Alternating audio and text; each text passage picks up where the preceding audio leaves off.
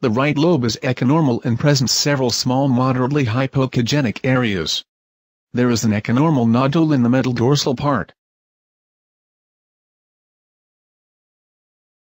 The lesion has halo. The upper part of the right lobe has a hypoechogenic area marked with a yellow arrow.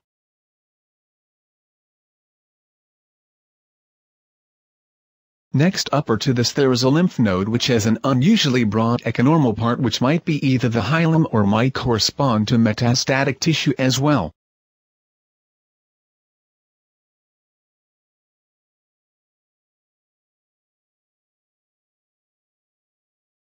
The left lobe has a similar appearance. The origin of the relatively large discrete lesions is obscure, they might be pathological nodules.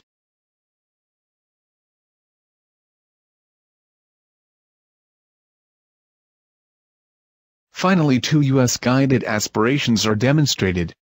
The first from a lesion located in the upper part of the right lobe, while the second from a lesion in the left lobe.